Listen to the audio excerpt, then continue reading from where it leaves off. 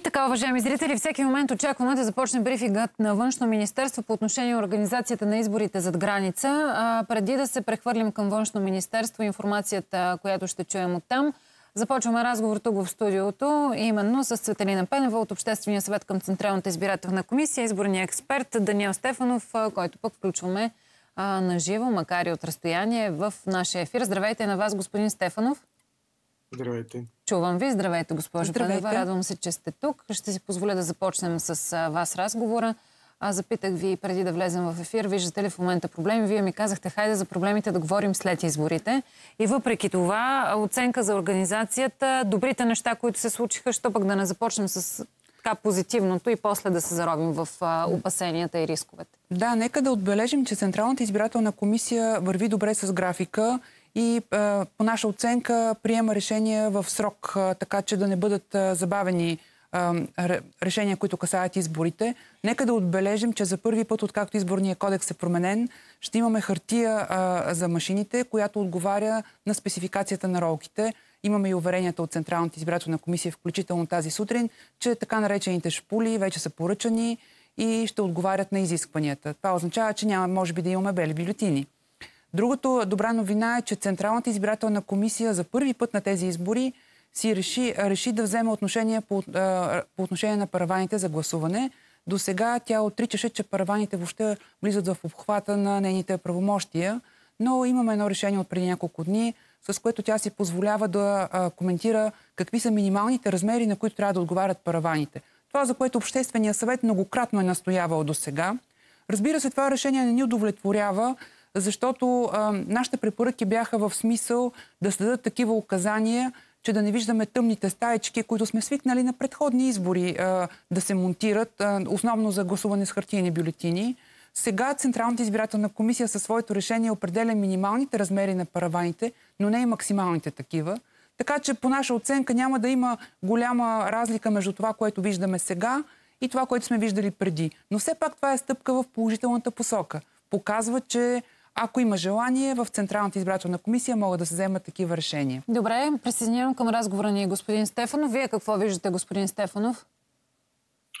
Има няколко положителни развития, ако говорим за това. Първото, според мен, е най-важното е, че този път процеса по удостоверяване на, на машините започна доста по-рано и се надявам той да приключи преди машините да, да са затръгнали към чужбина особено а, и в страната. Знаете, че на последните избори, местните избори имаше сериозен проблем с това. И когато доклада все още за удостоверяване все още не беше излязъл, всъщност една част от машините вече бяха разпратени, което според мен е недопустимо. Този път това мисля, че няма да се случи. А, сериозен напредък а, има в решението за различните цветове на двете бюлетини. Аз а, по принцип имам и други забележки към тази бюлетина и с вас сме го коментирали. А, бюлетината не е, не е достатъчно услужлива, да го кажем, към избирателя и това е една от причините, според мен, според изследването, които ние сме правили в Центъра за а, електорални изследвания в Нов Български университет за високия брой на невалидни гласове. Въпреки, доста коментирахме тази тема в експертните кръгове, няма подобрение по тази тема, но поне се постараха да направят бюлетините достатъчно различими, за да, за да няма грешки както от страна на избирателите, така и от страна на комисиите. Моля ви да поясните само това, което казахте за това, че бюлетината не е достатъчно услужлива на избирателите. Какво конкретно имате предвид?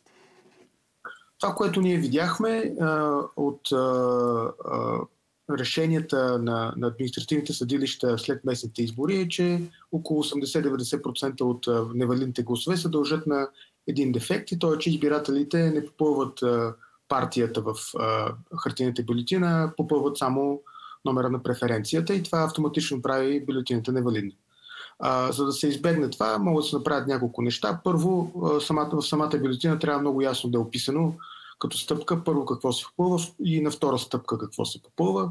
Първо трябва да се попълни партията и след това да се попълни преференцията и да е много ясно написано, че ако не се попълни а, политическата партия в а, лявата част на бюлетината, бюлетината стане невалидна. Това е стандарт а, по целия свят. Нашата бюлетина по някаква причина няма такива текстове и хората, Добре. очевидно, особено в провинцията, се объркват.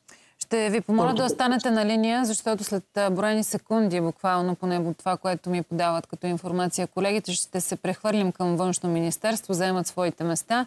Представителите, които ще говорят, госпожо Пенева, добавете само за бюлетината и това, което каза Аз господин да Стефанов. кажа Съгласна ли да, сте? две думи за удостоверяване. Много бързо ви моля обаче, да.